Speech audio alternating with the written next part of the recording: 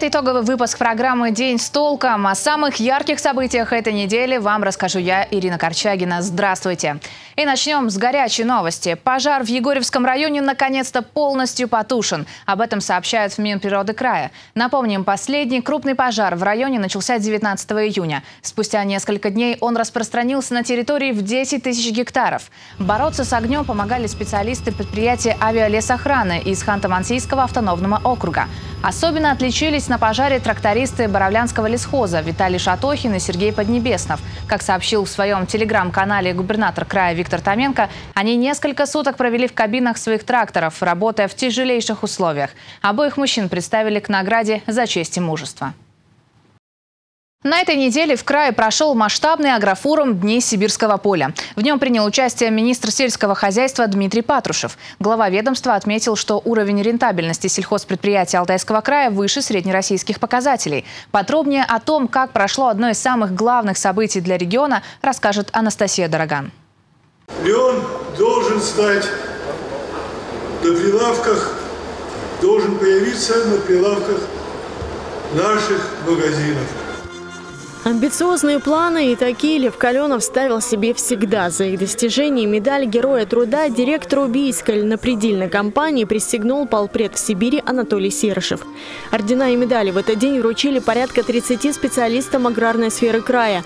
Так начался День поля. Масштабный агрофорум, на котором встречаются фермеры, животноводы, производители техники и семян порядка полутора тысяч тонн оригинальных семян мы производим. Их приобретают наши элитно-семеноводческие хозяйства и в пределах 17 тысяч тонн элиты предоставляем для наших сельхозтоваропроизводителей.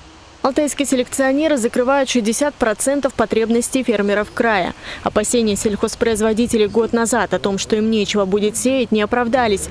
А сейчас к семенам алтайской селекции присматриваются уже соседние регионы Казахстан и Монголия. Потенциал этой сферы оценил министр сельского хозяйства Дмитрий Патрушев, который приехал в край специально на День поля. Главе ведомства представили и новинки машиностроения. Например, новый трактор «Кировец», для которого производят на Алтае шины, диски и элементы топливной системы. Или агрегат для внесения жидких удобрений в почву движение влево-право, то есть ограничители хода для того, чтобы э, не было излома иглы. Э, трактор, когда едет вперед, он э, не имеет прямолинейности движения. То есть он может где-то вилять, где-то что-то объезжать препятствия. Соответственно, если он начнет поворачивать, весь агрегат 12 метров тоже начнет поворачивать. Чтобы не ломалась игла, есть именно вот это вот движение. А рядом с отечественными машинами стояла техника с иероглифами, нюансы, отвечающие духу времени. Например, этот трактор приехал из Китая. Его производитель не просто делает ставку на Россию, но и приспосабливается под запросы российских фермеров. Поменяли кабину, установили э, аксиально-поршневой насос. Мы ведем переговоры, чтобы все-таки они автоматическую коробку поставили. Э, более внутри, скажем так, кабины под привычный уже европейский стандарт переработали. Отечественная и китайская техника почти вдвое доступнее российскому фермеру, чем европейская или американская. И чаще всего аграрии делают выбор в пользу именно отечественных машин. На Китай смотрите? Смотрим помаленьку. Как? Пока никак. Просто, просто смотрим. Не впечатляет или все равно стереотип? Сервиса нету. Успешным прошедший год оказался для всей агросферы края. Уровень рентабельности алтайских сельхозпроизводителей превысил среднероссийский. Урожай достиг рекордных объемов, несмотря на непростые погодные условия. С погодой нелегко и сейчас. В Алтайском крае достаточно большое есть вот, э, большие площади пашни, где ни одной капли осадков не было ни в течение всей весны, ни в течение пока что всего июня. Настоящие профессионалы своего дела и в прошлом году, и в позапрошлом, несмотря на все испытания, которые тогда э, внешние факторы и обстоятельства нам устраивают, умеют и знают, как даже в сложных условиях давать действительно рекордные, рекордные результаты. Поэтому уже который год алтайские аграрии бьют рекорды, а в 2023-м увеличили площади под гречиху. Площадь под ключевой для вашего региона культуры гречихи превысила 700 тысяч гектар, и я вас хочу поблагодарить. У нас гречиха всегда такая достаточно капризная культура с точки зрения и цен на нее, и достатка в магазинах. Но если мы увеличиваем площадь, значит ожидаем больше урожай и меньших, меньших колебаний э, с точки зрения цены. Ход посевной кампании в крае и в целом в стране подробно обсудили на оперативном штабе министра сельского хозяйства России Дмитрия Патрушева. С главой края он поднял вопрос объемов производства, ключевых проблем сферы и мер поддержки аграриев. Мы скорректировали механизм расчета экспортных пошлин. Это позволит снизить финансовую нагрузку на отрасль. До ноября включительно продлен комплекс мер по стабилизации цен на рынке минеральных удобрений. Министр подчеркнул, что федеральное ведомство готово оказать поддержку Алтайскому краю. В 2023-м регион участвует в семи мероприятиях по комплексному развитию сельских территорий, на что получил 350 миллионов рублей. Это деньги на строительство жилья, дорог и благоустройства. Кроме того, Виктор Томенко обратился с просьбой доп. финансирования аграрного вуза края и поддержки некоторых других отраслей. Обсудили ситуацию, складывающуюся на рынке молока, перспективах ее дальнейшего развития, э, зерновых интервенций, которые предположительно будет делать осенью э, Минсельхоз, э, ну и возможности расширения сбыта продукции нашими предприятиями, фермерами, хозяйствами, в том числе используя направление сегодня на восток, там, где мы тоже сегодня, ну, пока что еще присматриваемся, делаем только первые шаги по возможному участию вот в проекте сухопутного зернового коридора на Китай. День поля – еще один способ решать вопросы сбыта, поставок, реализации продукции. Ежегодно в рамках агрофорума заключаются десятки соглашений о партнерстве. В этом году в мероприятии приняло участие больше 330 компаний. Анастасия Драган, Дмитрий Денисов. День с толком. Кстати, недавно Виктор Томенко заявил о том, что в ближайшие пять лет Алтайский край может стать лидером в стране по производству сельхозтехники. Согласны ли с этим сами производители? Об этом в нашем интервью. Импортозамещаться можно, и можно в больших количествах, и делать достаточно серьезную технику, которую мы раньше, собственно говоря, только мечтать о ней могли. Сегодня открылось окно, окно, огромное окно возможностей по вопросам импортозамещения с уходом э, мир, всемирно известных брендов. И мы сейчас эту возможность пробуем использовать. Вот как раз наглядным тому примером является посевной комплекс, который будет в сегменте, в сегменте Джондира и Барго. И испытания, надо сказать, получились удачными. И продукт готов, и он созревший, поэтому э, это один из таких опытов и точек роста, которые, скажем так, могут выступить драйверами в развитии Алтайского края. Динамика есть, динамика положительная, и ряд предприятий показывают это, в том числе там Рубцовский РЗЗ, это компания Агроцентр, то есть мы также растем, и растем причем серьезными темпами. Год от года зависимость снижается, ведь и мы же тоже внутри компании импортозамещаемся. Да, конечно, до определенного предела экономической целесообразности. Кроме того, появляется ряд компаний в России, которые начинают производить компоненты, это тоже мы видим. Но вот если взять, например, посевной комплекс, который мы сделали, то из покупного там по большому счету прикатывающие колеса, а, диски, улавливающие колеса, ну и сами большие колеса. Хотя их тоже при желании можно вполне себе заместить. И я бы сказал, что уровень локализации последнего нашего продукта это ну 90, даже, наверное, 95 процентов. То есть мы эти вещи научились делать. Да, есть критические компоненты, которые мы вынуждены импортировать из-за границы. Пока, слава богу, нас Китай в этом отношении выручает. Но и там есть э, определенные сдвиги, сдвиги положительные. Поэтому, скажем так, уровень импортозамещения или уровень зависимости от импорта, он у нас снижается. Но вот на сегодняшний день э, мы представлены в 63 регионах России. А, в Казахстан мы давно уже поставляем технику. Сегодня у нас как раз здесь представитель из Монголии есть. Мы сегодня подписываем контракт на поставку оборудования. Также у нас есть уже мы близки к заключению контракта с поставкой в Белоруссию и в Евросоюз. В Евросоюз буквально планируется поездка в июле. Если все у нас хорошо, мы уже должны заключиться и тоже будем поставлять туда оборудование. То есть, конечно, это не те объемы, которые были до последних событий, да, но тренд, опять же, положительный, и там очень много лояльных клиентов к нам. Не вся, оказывается, Европа и не вся Соединенные Штаты э, так думают, как их предсказывают им средства массовой информации. Очень много лояльных, на самом деле, клиентов и людей находится и там. Они готовы покупать нашу продукцию, конечно, преодолев барьеры с вопросами поставки и с вопросами оплаты. Вот это единственные такие сложности, которые сегодня беспокоят.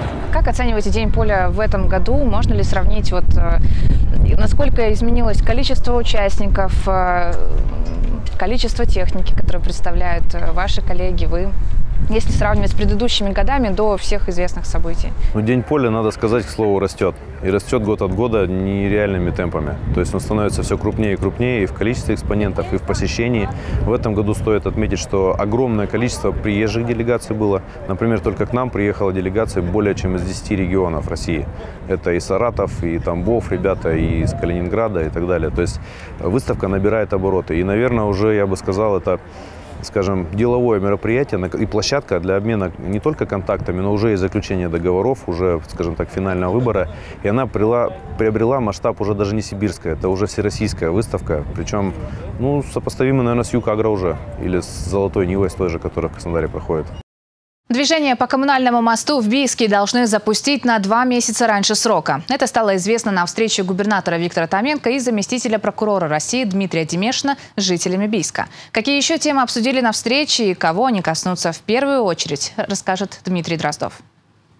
Ключи от квартиры номер 143 в доме по улице Декабристов 20 вручаются Архиповой Марине Викторовне. Этого момента дети-сироты ждали несколько лет. С 2018 года региональные органы и прокуратура ведут работу по обеспечению данной категории жильем. За это время в крае улучшили свои жилищные условия более двух с половиной тысяч сирот. На эти цели край выделил 600 миллионов рублей. Но этого, по словам Виктора Томенко, оказалось недостаточно. Стали искать решение проблемы. В итоге теперь в регионе работает система жилищных сертификатов стоимостью стоимость одного 2,7 миллиона рублей. Только за прошлый год, в том числе с помощью этого механизма, удалось помочь примерно тысячам детям-сиротам. В этом году на решение вопроса заложено 1,6 миллиарда рублей. В очереди на сегодня почти 6 тысяч человек. Квартиры очень хорошие и все в шаговой доступности. Ну, очень все понравилось. Уже видели, заходили в квартиру? Да, была в квартире, очень хорошая, большая квартира. И все магазины, детские садики. У меня ребенок уже маленький. Я, для меня было важно, чтобы была детская площадка и садик, школа рядом. На очереди было около года мы стояли. А, благодаря а, оперативной работе РЖУ, прокуратуры и наших местных властей мы очень хорошо и быстро получили сертификат. Мы очень этому рады. Мы можем теперь получить квартиру и выбрать сами, а, в каком районе именно жить. На личном приеме граждан Виктор Томенко и Дмитрий Демешин обсуждали, как решить и другие насущные вопросы бичан. Один из самых волнующих людей вопросов – сроки ремонта коммунального моста. Передвигаться на сегодняшний день по коммунальному мосту практически невозможно. То есть создаются пробки. Э, такое время, как лето, то есть жарко. Вот у нас срок конец ноября. Э, то, что он будет выдержан, сомнений не вызывает. Но, но сейчас вопрос такой, есть ли возможность сдвинуть немножечко пораньше сроки сдачи? Э, сроки сдачи. Без потери качества, конечно. Мосту потом долгие годы жить и работать, и обеспечивать бейчан и гостей. Работа уже выполняется и выполнена. Самая главная задача – это выполнить работы по, верхнему, по верхней части моста. Эти работы мы планируем завершить порядка на два месяца раньше, чем э, весь объект под мостом. Дальше работа будет вестись ну, до 1 ноября, а может быть чуть раньше, в октябре. Тем самым подрядная организация рассчитывает, что полноценно передвигаться по мосту можно будет на два месяца раньше запланированного. Заместитель прокурора России Дмитрий Демешин, в свою очередь, дал указание взять эту ситуацию на контроль и регулярно отчитываться о ней в краевую прокуратуру. Так, чтобы реверсивное движение, о котором сказал глава Крусвот, э, города Бийска Крусвот, действительно имело место э, в рамках эффективного передвижения людей. Потому что пробку сегодня мы увидим, вот. а сегодня не пятница и не воскресенье, сегодня рабочий день. Также жители Бийского района в ходе личного приема просили провести ремонт в ряде образовательных учреждений, а Советского сократить расстояние от жилых домов до мусорных контейнеров. Всего обратился 21 человек. По итогам встречи, заверила принимающая сторона, каждое из обращений будет отработано. Дмитрий Дроздов, День с толком. Еще одна важная тема этой недели. В Барнауле привлекли к ответственности кредитора. На самом деле, даже в масштабах страны этот случай уникальный, говорят эксперты. В Барнауле представитель одного из крупнейших банков страны приходил домой к родителям должника, угрожал изъятием имущества. При этом родители, как третьи лица, вообще не знали об имеющемся долге. Как удалось разрешить ситуацию и сохранить квартиру, расскажем в сюжете. Я взяла, вот так толкнула. Он отлетел к этой двери. Я захлопнула, он говорит, начал торговать. Вот ты еще меня! Да все, смерть моя пришла. Незваный гость пощекотал нервы семье Гартман. В тот день Нина Викторовна от коллектора узнала, что у сына есть кредитная карта и просроченный долг по ней. Так хорошо тарабанят. Ну, у меня муж подскочил, пошел открывать. Вот ваш сын должник, я представитель банка, он не хочет платить. Он говорит, а с меня что вы хотите? Пусть он платит. Ну, пусть платит. Он ваш сын, он у вас прописан. Если он не будет платить, изымем ваше э, имущество. При этом представитель банка даже не показал свои документы. И каждый раз, когда семья вызывала полицию, коллектор сбегал. Супруги в недоумении. Сыну 38 лет, 11 из которых он уже не проживает здесь. В квартире прописан, но долей не имеет. А самое главное, родители не понимают, почему банк перекладывает ответственность на них. Семья решила обратиться к судебным приставам. Мы э, приняли обращение и стали проводить, расследование. Взяли объяснение со всех участников этого, э, этой проблемы. В дальнейшем э, противоправные действия со стороны представителей банка были прекращены. Банк был привлечен к административной ответственности со штрафом 200 э, тысяч рублей. Эта история уникальна тем, что обычно коллекторы пишут или звонят должникам. Здесь же кредитор перешел на личные встречи. Кстати, после резонанса к семье пришел еще один представитель этого банка. Очень вежливый, ну настолько вежливый, я чуть не умерла. Пожалуйста, пусть он придет в банк. Мы порешаем вопрос, но поменьше, чтобы платил. В службе судебных приставов поясняют, кредитор не вправе разглашать информацию о задолженности третьим лицам, будь то работодатель или родители. В Алтайском крае приставы ежегодно получают порядка 500 обращений с жалобами на кредиторов. Некоторые из них заканчиваются составлением административных протоколов. Больше всего жалоб на микрофинансовые организации. В законе прописано, что э, коллектор, либо банк, либо кредитор э, вправе осуществлять взаимодействие не чаще одного раза в день, двух раз в неделю и восьми раз в месяц. Естественно, они не имеют права э, нарушать э, право человека на отдых, звонить ночью после 10 часов вечера. А родители нашего должника хоть и в хороших отношениях с сыном, но сегодня они так и не знают, выплачивает ли он долг или нет. Но на всякий случай они выписали его из своей квартиры. Ирина Корчагина, Владислав Ковалев. День с толком. На этой неделе состоялся первый полноценный допрос так называемого инвалида в деле о смертельной драке на Старом базаре. Дмитрий Лопатин – самая загадочная фигура в этой трагической истории, произошедшей летом 2020 года. Его обвиняют в умышленном причинении вреда здоровью средней тяжести Михаилу Старцеву, который уже отбывает срок за эту потасовку. На днях в суде Лопатин утверждал, что нападали в тот вечер на него, а трости он лишь защищался. На заседании побывала моя коллега Анастасия Дороган. Она расскажет подробнее. Процесс начался с пачки документов. Дмитрий Лопатин представил суду кучу медицинских справок о состоянии своего здоровья. Мужчина подтверждал проблему с нервом, постановку на учет как инвалида третьей группы, но есть нюанс. Лопатина с него сняли еще в 2016 году. Произошел э, допрос э, Лопатина, где он принес э, свои многочисленные справки, которые, в принципе, по сути, на момент 2020 года не имеют никакого отношения. Это 12 год, 23 год, что он где-то там получил очередную как бы травму. То есть никакого отношения к 2020 году эти справки не имеют. Михаил Старцев был против приобщения к делу этих справок и заявил, что еще не видел инвалидов, устраивающих драки. Но судья все же прикрепила справки к делу. Затем Лопатин озвучил свою версию событий. В ней он приехал в злополучное кафе, чтобы познакомиться с девушкой. Ему, кстати, понравилась Лилия Варагушина, девушка из компании Михаила Старцева. Но на предложение познакомиться, со слов Лопатина, Варагушина в грубой форме отказала мужчине. Тот ответил, и к словесному конфликту подключился Старцев. В этот момент Дмитрий Лопатин направился к машине, чтобы взять трость. Хотел избежать конфликтной ситуации, побоялся, что в силу своего здоровья получу по голове. Пошел к автомобилю, в нем лежала трость. Зачем вы взяли трость? Вы в защите нуждались? Да. Вы звали на помощь? Нет, никого не звал. Что произошло дальше, мы слышали много раз. Потасовка закончилась смертью Павла Рохлова, который принял мужчину с тростью за инвалида и решил заступиться за него. Прокурор, допрашивая Лопатина, несколько раз возвращалась к моменту начала драки, когда Лопатин пошел к машине за тростью. Вот его объяснение. Вы когда отмахивались, Старцев какие-то активные действия проявлял? Он шел на меня, шел целенаправленно, агрессивно шел. Но я вижу же по лицу, что человек настроен драться. Видно же. На следующем заседании стороны продолжат допрос Дмитрия Лопатина. Напомним, его обвиняют в умышленном причинении вреда здоровью средней тяжести Михаилу Старцеву, который второй год отбывает наказание за причинение вреда, повлекшего смерть по неосторожности. По предварительным планам, до осени суд должен вынести решение по делу Лопатина. Анастасия Дороган, Дмитрий Денисов. День с толком.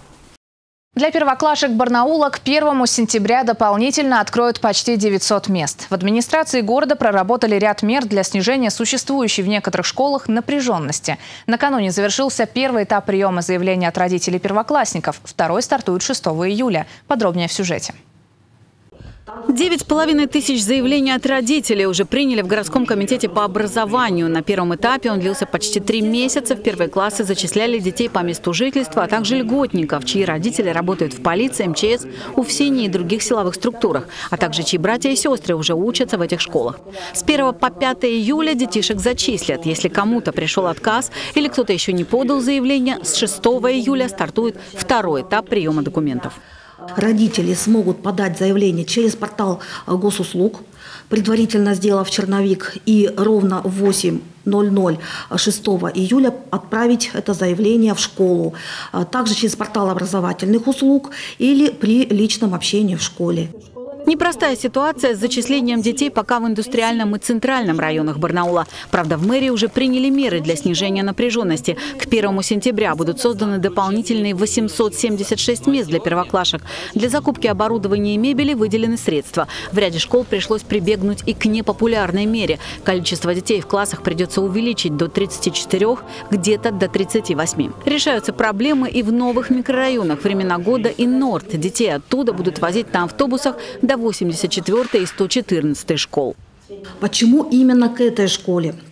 В этом году у нас открывается школа в Спутнике, школа 138. С 1 сентября мы планируем открыть порядка 850 детей. Планируем, что в эту школу у нас поступят. А, соответственно, дети из 114 школы, потому что 114 школа у нас принимала таких детей, она немножко освободится. И, соответственно, в эту школу мы сможем, э, вернее, в этой школе мы сможем обеспечить места для первоклассников, вот э, те, которые проживают у нас в микрорайонах новостроек.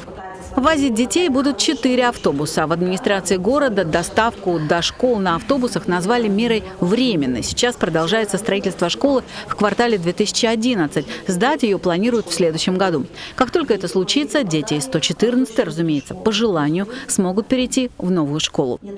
Татьяна Голубева, Дмитрий Денисов. День с толком.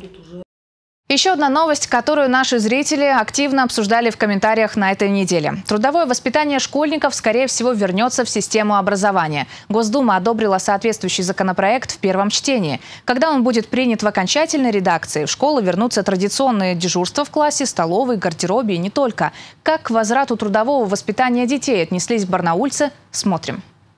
Пускай работают. С детства надо приучать их, чтобы работали они. Считаю, что у нас раньше привлекали в наши времена, ничего страшного не было. Поэтому если труд э, на пользу, значит все можно. Я, это, я так считаю. Правильно делают. Нет, вообще неправильно. Я, я все да. должно быть по доброй воле. Принудительно ничего никогда не получается. Они сейчас в телефонах сидят.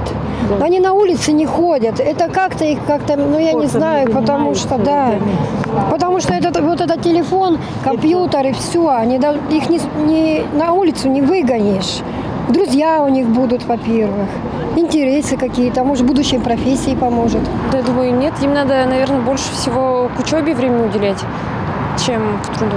Весь год учатся, а летом нужно как бы отдыхать. Очень положительно. А почему? Ну, потому что это вполне естественно, детей приучать к труду, даже вот такого маленького. Собери игрушки, подбери свои вещи, даже если, если ребенку 3-4 года, а школьник тем более. Сотни паломников со всей России вот-вот должны зайти в село Коробейниково Усть-Пристанского района. Почти неделю назад крестный ход э, по традиции начался у Покровского собора в Барнауле. Люди проходят непростое путешествие в 250 километров, чтобы увидеть главную святыню Алтайского края. Наш корреспондент стал свидетелем того, как паломники отправлялись в путь. Все тело твое темно будет. 7 часов утра, а в Покровском соборе уже сотни людей. Перед долгой дорогой они отстояли службу и причастились. В первый крестный ход у нас ходило 49 человек. Вот сейчас количество участников и география участников очень расширилась. Количество примерно до тысячи человек, а география – это ну, практически очень большое количество городов России. Одна из участниц юбилейного крестного хода, который в этом году на территории нашего края проходит в 25-й раз, приехала из Москвы. Женщина рассказывает, что в пешее путешествие решила отправиться после того, как икона Коробейниковской Божьей Матери помогла ей исцелиться, когда она находилась в Хабаровске. Это было, конечно, большое чудо. И были многочисленные исцеления. Уже даже после того, как икона улетела, я... у меня оставалось масло от этой иконы. И когда мне не могли остановить кровотечение, даже вот на скорую Василия, э, когда я теряла сознание, просто врачи даже ничего не могли сделать. Я приложила смоченный тампон, и у меня кровотечение остановилось сразу. Многие обращаются с мольбами об излечении к Коробейниковской иконе Божьей Матери. Она считается главной святыней Алтайского края. Путь к ней долгий. Расстояние от Покровского кафедрального собора до села Коробейниково, где икона находится в храме Казанской Богородицы, составляет больше 250 километров. И нужно быть готовым ко всему. Что с собой взяли? Палатку, спальник, сухпайок. Ну что, обувь сменную, так, одежду тоже. Ну, аптечку элементарную. А некоторые в пешее путешествие берут и детей. К примеру, известная алтайская актриса отправилась в поход сразу с сыном и дочкой. Ты ничего не ел практически целый день, но ты уже ничего не хочешь есть. У детей проявляется невероятная энергия. Они начинают бегать, скакать, играть в футбол, волейбол, теннис. И мне приходилось просто разгонять детей, которые прыгали по палаткам. Одно из интересных нововведений в этом году – это, пожалуй, специальный нагрудный значок, посвященный юбилею. Значок выдадут всем причастившимся в третий день пути. За первый паломники преодолели 30 километров, за второй примерно столько же. После короткой ночной передышки в Калманском районе дальше отправятся в путь, который продлится неделю. В Коробейниково верующие должны прийти в это воскресенье, чтобы попросить помощи или благословения у главной алтайской святыни. Данил Кузнецов, Владислав Ковалев. День с толком. В Госдуме предложили разрешать магазинам бесплатно раздавать товары с истекающим сроком годности. Это получится сделать, отменив НДС на фудшеринг для торговых сетей. Сегодня на российском рынке развиваются две модели фудшеринга – благотворительный и коммерческий. То есть в первом случае еду раздают безвозмездно, во втором продают по внушительной скидке. Как раз об этом наш следующий материал. В нем мы пытаемся ответить на вопрос, а есть ли фудшеринг в Алтайском крае и в принципе в других регионах России? 30% от всей э, еды, которая производится, оно уходит в пищевые отходы. Это примерно э, 2,5 миллиарда тонн ежегодно. А именно, это то, что пропадает по пути в магазин, на его прилавке или у нас дома в холодильнике. Елизавета живет в Норвегии и уже пару лет она в каком-то смысле герой. Девушка спасает продукты с помощью фудшеринга. Для начала фудшеринг бывает благотворительным и коммерческим. В отличие от первого, коммерческий фудшеринг подразумевает продажу еды по большой скидке. Наша героиня открыла для себя несколько приложений, которые борются с пищевыми отходами. В дело подключаются кафе, магазины и даже отели. Мне очень стало интересно вообще, как это работает. То есть это был новый стартап, вот, в Норвегии у нас. И э, я вот так вот зарегистрировалась, то есть ты платишь э, вот э, фиксированную сумму всегда, это очень маленько, то есть это 4 евро, и всегда пишут, э, на сколько денег вот в этом пакете будет продуктов, то есть обычно там на 20 евро. Очень быстро разбирают. То есть это действительно как бы хорошая свежая еда, съедобная абсолютно, которую э, мы спасаем от выкидывания. Но пока фудшеринг больше распространен в Европе. В нашей стране, пожалуй, только в столице, и то на старте. В небольших городах фудшеринг ассоциируется с простой уценкой. Даже так, на грани просрочки. Псевдофудшеринг, конечно, он известен давно в виде э, переклейки значит, сроков годности. Его не, пока, наверное, в Алтайском крае не рассматривают как некий э, цивилизованный или вообще-то бизнес – и для меня тоже это не совсем такое пока еще сформированное понятие, как предпринимательская деятельность. Наверное, потенциал какой-то есть, особенно на фоне того, что для многих это э, может э, быть и существенная экономия средств в семейном бюджете.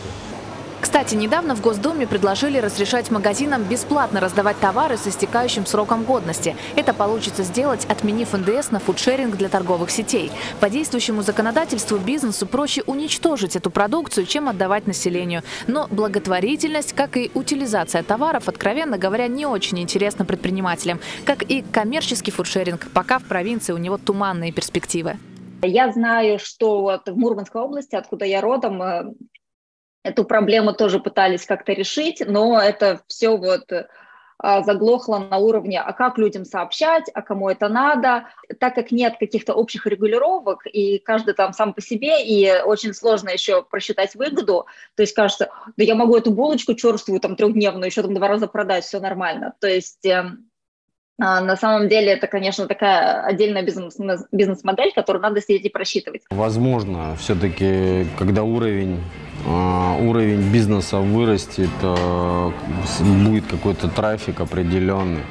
Вот. Эта культура, она только-только зарождается. Я думаю, может быть, там, в течение там, там, трех лет, я думаю, это будет актуально у нас пока даже не задумывался на такую тему. Вы первые, кто озадачили про, про это поговорить, поэтому, я думаю, к этому можно вернуться.